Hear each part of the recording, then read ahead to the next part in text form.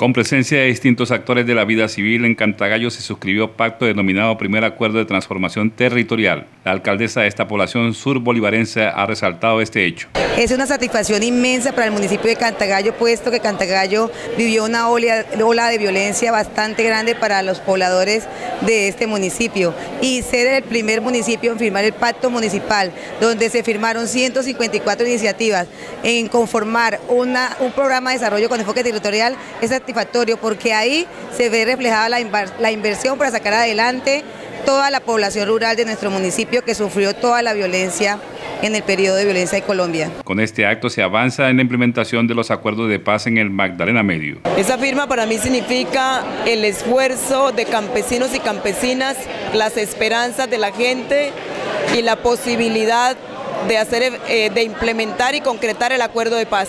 Eh, este proceso es un proceso bastante novedoso, eh, ya que viene de, la, de la expectativa de, directamente de las problemáticas que tenemos nosotros como campesinos, como campesinos,